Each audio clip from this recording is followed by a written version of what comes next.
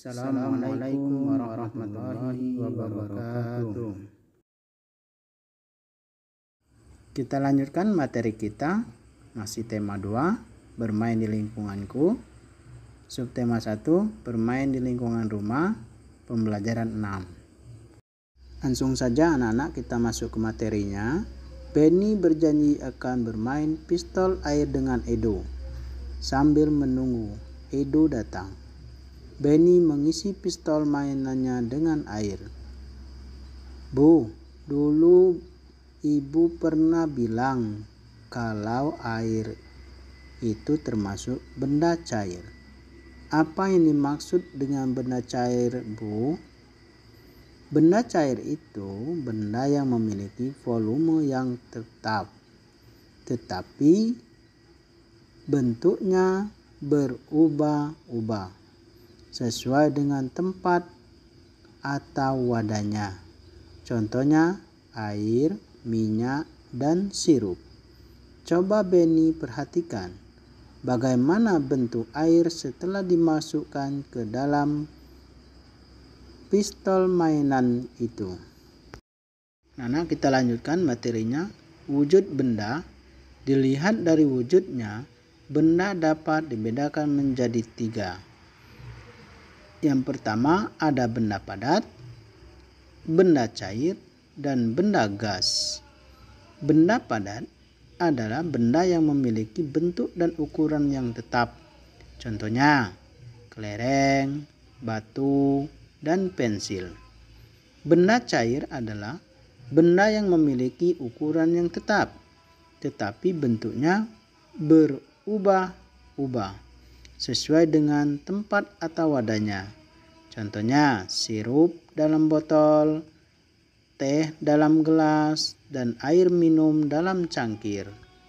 Sedangkan benda gas adalah benda yang memiliki ukuran dan bentuk yang selalu berubah-ubah sesuai dengan tempat atau wadahnya.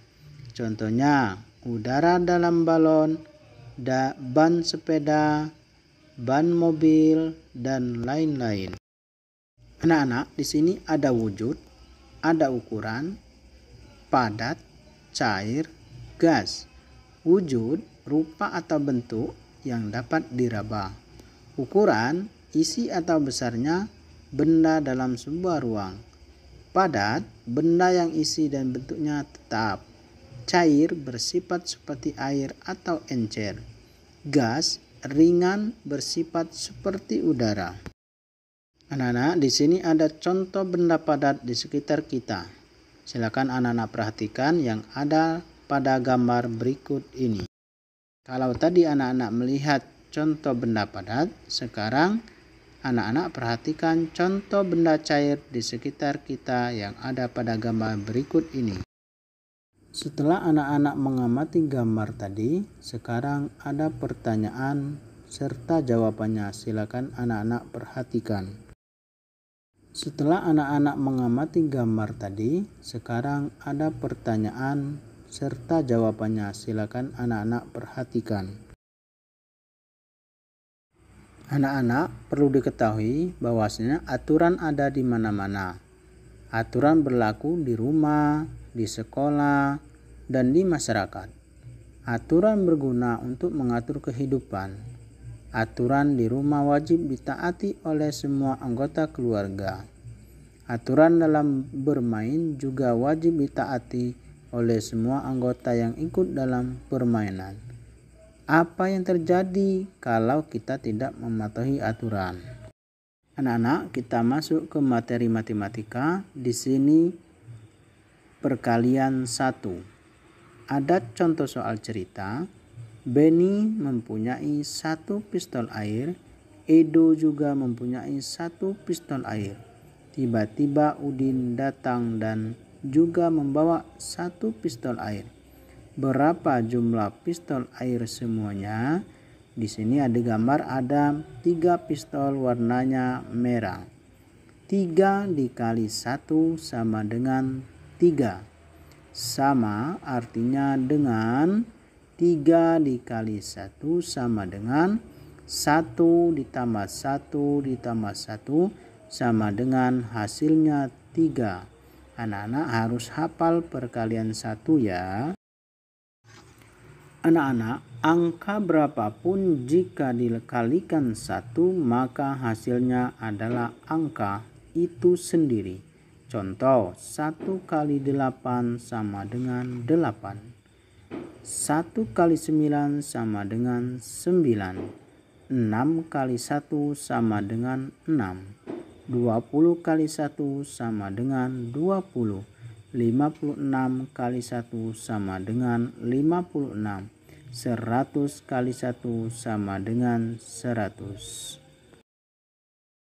Anak-anak, untuk memudahkanmu mengingat perkalian, lagu di bawah ini dapat membantu. Mari kita saksikan lagu berikut ini. Mari kita lakukan nyanyian ini ya belajar perkalian. Irama lagu sama dengan becak ciptaan busut ya. Jadi saya contohkan dulu lagunya terus kita nyanyikan sama-sama nanti yang putaran kedua ya. Aku mau belajar belajar perkalian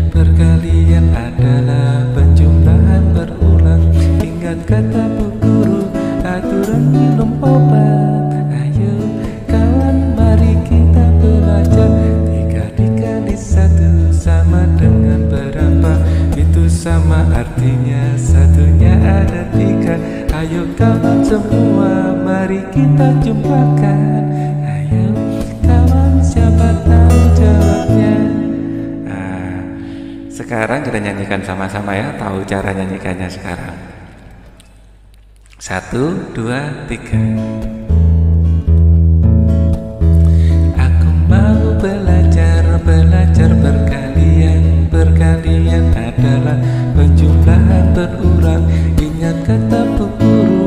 aturan minum obat. Ayo kawan mari kita belajar. Tiga dikali satu sama dengan berapa? Itu artinya sama. Satunya ada tiga. Ayo kawan semua mari kita jumlahkan.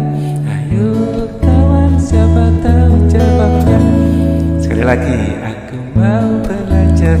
Belajar perkalian. Perkalian adalah berulang Ingat kata bu guru aturan minum obat. Ayo kawan kita belajar.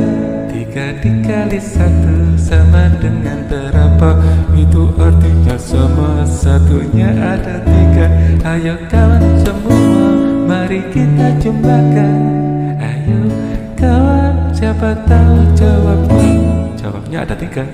Thank you Setelah anak mendengarkan lagu perkalian tadi dengan irama becak ciptaan Ibu Sud, sekarang anak-anak perhatikan contoh perkalian di bawah ini.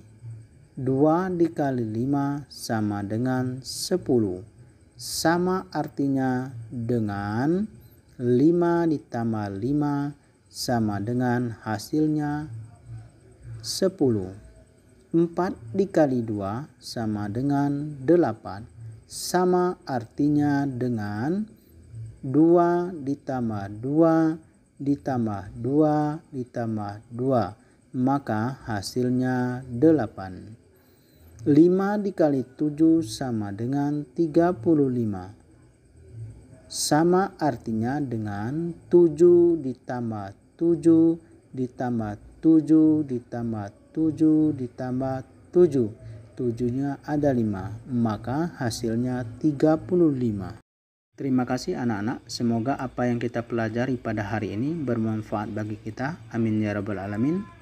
Di masa pandemi COVID-19 ini yang selalu kita jaga yaitu yang pertama selalu menjaga kebersihan memakai masker, menjaga jarak, dan selalu tetap di rumah kalau tidak ada hal yang mendesak untuk keluar.